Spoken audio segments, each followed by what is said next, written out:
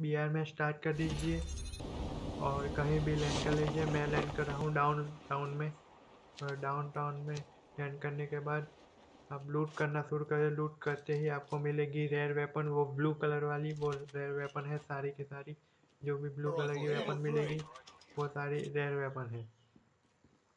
ये दोनों rare weapon है। देख सकते हो आप आउटलो और H B R A three blue colour की है रेयर वेपन ऐसी वेपन आपको दस पिकअप करनी है।